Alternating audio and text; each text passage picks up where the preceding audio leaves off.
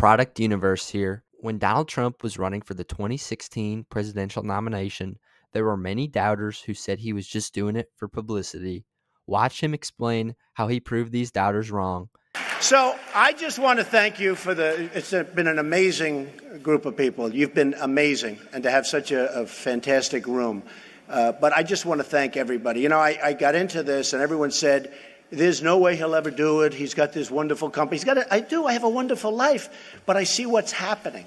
I see what's happening with the country. I see so many things going wrong, so many things that it caused really by incompetence that can be straightened out. We can straighten it out fairly quickly. I will tell you, if we don't stop it now, however, it's going to be at some point it's going to be too late. You're not going to be able to turn it. You're not going to be able to turn it.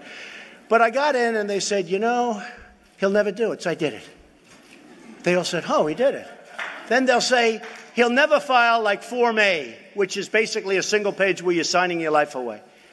I signed it. I signed Form A. They said, Oh, I don't believe it. Then they said, He'll never put in his financials because maybe he's not as big financially as everybody thinks.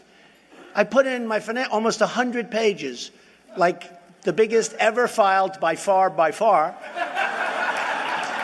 and I had it ahead of, but you know, they said, oh, he'll ask for all the extensions. And you had some of the politicians asking for extensions, and they were one page. I put it in ahead of schedule. And it turned out the company was much bigger than anybody thought, much stronger. It was, it's an amazing company, right? So they said, well, this guy might be running. Then I go with the polls, and the polls go up, just like the evangelicals in, in Iowa. The polls, I start bing, bing, bing, bing. And every single two or three weeks when the polls come out, they said, well, now he's reached his cap. I started at six. It went to nine. It went to 12. It, it was like a rocket ship, right? You've seen it. I mean, I'm not telling you anything.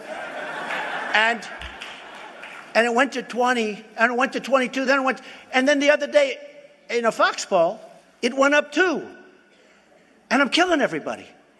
And they say other people are surging. Trump is staying still, but I'm up. I went up. I didn't stay still. I went up two points, right? I think two points. And I had another one where I'm 33. 33. And the next one, I think, was like 12 or 15. And they don't want to report it. They don't put the poll out. I said, Why aren't you putting the poll out? Well, we don't like that poll. It's a great poll. it's a great poll.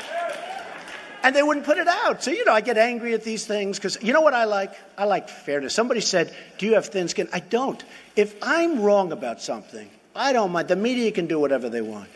But I have thin skin when I'm right about something, when I know they're doing a number on all of us. Because when I ran, and the reason I ran is because I want to make this country great again. And we're going to do it. We're going to do it. And we're going to do it a lot faster and a lot better than anybody thinks is possible. And I just want to thank everybody. You're special people, and I love you all.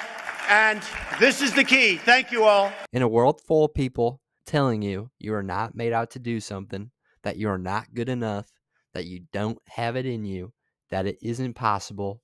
Be like Donald Trump and prove those doubters wrong. Not many people have been persecuted as much as Donald Trump has been in just the small amount of time he has been involved in politics.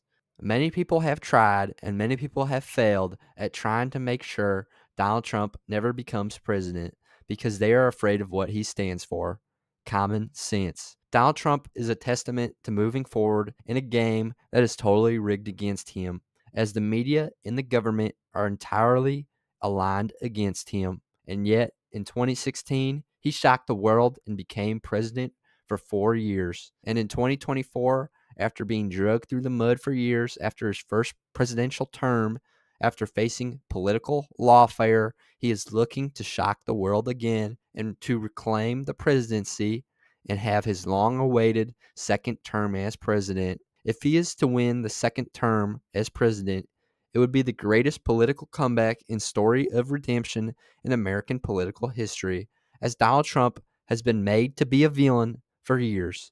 He is looking to prove those doubters wrong again. But that's just my two cents, and you are entitled to your two cents.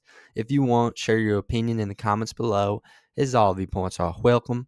If you enjoyed this informational and educational video, then give the video a like and turn on my channel notifications so that you will be notified the next time I release a new video.